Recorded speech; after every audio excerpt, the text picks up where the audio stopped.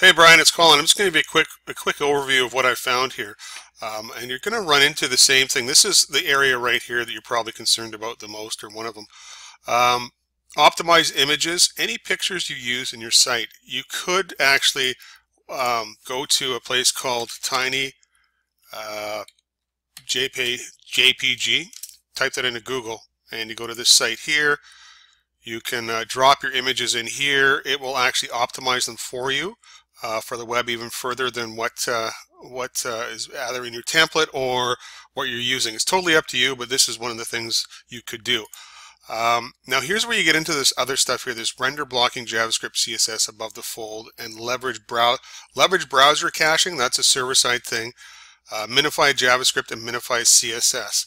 Um, we don't do those in the template because that's something you'd have to do after the fact because if you have to make any adjustments while you're building your site, minified, you can't do it in a minified format.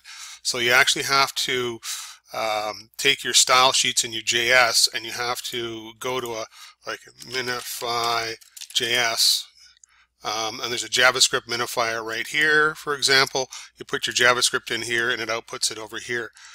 Um, let me get back to this report right here uh, same with Minify CSS. You mentioned something else, so it's like, let me re reread your question. What I am going to do is address your question of too many CSS on the site. Okay, so let's go back here.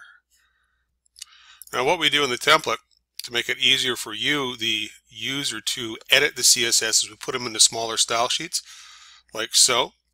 And uh, they load into the site. Now we actually have a script that we can use. It's a little bit advanced, but what it does is it loads your CSS asynchronously, which basically means it puts it into a, a script and then it allows it to uh, load into the site that way. I can provide that if you want to send me your login information. We can test it out.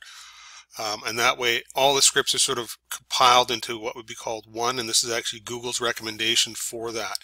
Uh, the other thing is, if you're talking about Bootstrap is a really large um, CSS file. If it's just too much CSS overall, Bootstrap has 5,500 lines of CSS in it. That's It's just a huge CSS file. It is possible I could whittle that down for you. Um, but going through, that's I've never used WooRank, so I don't know what it's looking for.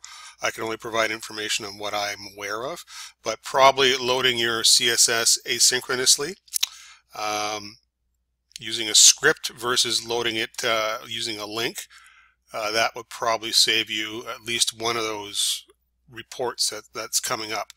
Because what happens is when you're loading a CSS file, in a nutshell, everything after that just sort of is put on hold while it loads the next one and the next one and the next one.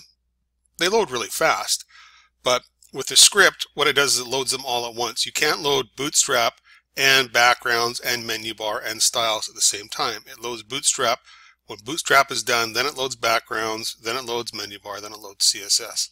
Okay, that's why they call it render blocking because it requires one to finish downloading before the next one loads in. Although Bootstrap is big, it does load in quick, right? Um, but if we loaded those asynchronously using a script, it sort of bypasses that whole thing and loads them all at once because it's being loaded in by a Google script. Um, like I said, that'd be the only thing I could think of.